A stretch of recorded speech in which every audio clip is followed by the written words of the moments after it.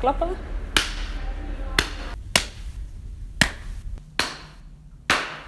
Oké. Hoi! Vandaag ga ik erachter komen wat alles is rondom de HBO Master. Dus dat is iets wat de HVA aanbiedt. Ik ga docenten en studenten spreken en dan eh, hoop ik dat we er eh, straks allemaal wat meer van snappen. Nou, een HBO-master is eigenlijk ook een master zoals, de, zoals je een universitaire master hebt. Alleen een HBO-master heeft een sterke praktijkcomponent. Dus het onderwijs, maar ook het onderzoek. eh, daarin eh, ja, heeft het, de praktijk een belangrijke rol. En is dat heel anders dan bijvoorbeeld bij een universiteit? Er is vaak wel discussie over ehm, ja, wat is nou een universitaire master, wat is een HBO-master. En het verschil zit hem inderdaad in de praktijk. Dus hoe belangrijk is de praktijk binnen de master? Bij de universiteit is misschien eerder eh, een analytische vraag of eerder de theoretische verankering eh, belangrijk binnen het onderzoek. Bij HBO-onderzoek is dat ook belangrijk. Maar gaat het ook en misschien wel vooral om de vraag van. Ja, als je iets gaat toepassen in een bepaalde context, in dus de praktijk, Mhm.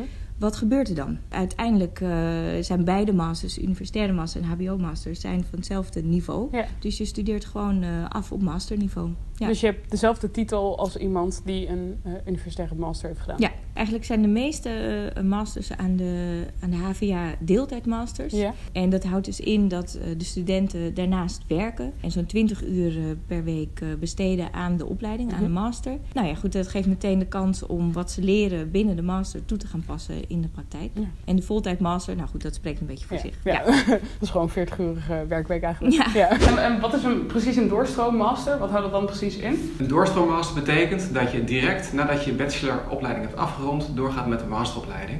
Alle mensen die een bachelor hebben zijn in principe welkom, mits ze aan de juiste vooreisen of ingangseisen voldoen. En als je dat niet zeker weet, kan je dan gewoon contact opnemen of iets in die trant? Of is... Ja, dat is een speciale commissie die alle aanvragen één op één beoordeelt. Oké. Dus op het moment dat je twijfelt over je vooropleiding, neem contact met ons op en dan kijken we met je bij. Hoe ben je erop gekomen? Want je gaat een HBO-master doen. Ja. Want waarom heb je daarvoor gekozen? Ik, ik kwam langskomen via de mail. Toen heb ik, toen heb ik daar een uh, informatiesessie over gehad. Mhm. En daarin zag ik eigenlijk uh, um, dat er dus wel een daadwerkelijk verschil zit tussen een master op de universiteit en op, op HBO. Toen uh, heb ik afgelopen Oh. maandag mijn verzoeken inge Oh, ingeleverd Ja. voor, uh, voor, dus, voor, dus, voor die opleiding. Want welke master ga je nu doen? Ik ga de master in Digital Driven Business doen. En wat moet je nu allemaal doen voordat je mag beginnen met die master? We hebben een cijferlijst moeten indienen, een motivatiebrief. Mhm. Ik heb een cv, cv moeten indienen, want je mag namelijk niet meer dan drie jaar gewerkt hebben Oh ja. of werkervaring hebben. Heb je zelf ook naar universitaire masters nog gekeken? Ja. En? Overal een pre-master. Ja. En, En dat is dan ehm, hoe lang? Of Een jaar. per Een jaar. oké. Voor sommigen is het een half jaar. Voor mij is het dan, voor de master ik wil gaan doen, was, was het een jaar. En bij een pre-master krijg je toch, krijg je toch het probleem dat je het zelf moet bekostigen. Ja. Dus je krijgt geen, st- Ja. st- geen studielening, Mm. maar je krijgt ook geen OV. Dus dan Ja. ben je toch al zo'n 6000 euro op een jaar kwijt om alleen maar een pre-master te doen. Ja. Dat is behoorlijk veel. Ja.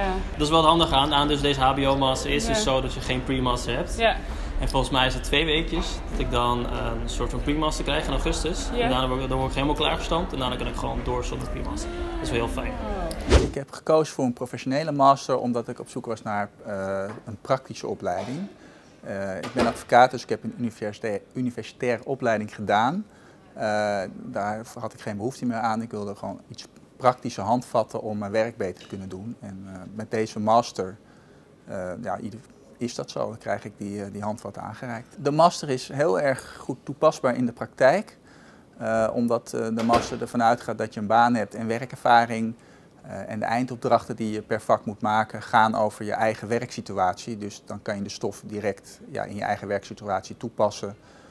En daar ook mee nou ja, op je werk dus laten zien van nou, dit heb ik onderzocht en gedaan en hier kunnen we wat mee. Goed, ik ben weer echt tot een ontzettend veel inzicht gekomen eh, over die hele HBO-masters. Ik hoop jullie ook. En ik hoop dat jullie er wat aan hebben gehad. Dat je misschien een goede overweging kan maken of je een universitaire master of een HBO-master gaat doen. En als je nou weet wat eigenlijk nou de verschillen zijn tussen een eerstejaars en een vierdejaars, kan je hier klikken voor deze video. Daar kan je abonneren en dan hoop ik jullie volgende keer binnenkort weer te zien bij een gloednieuwe video. Doei! Doei!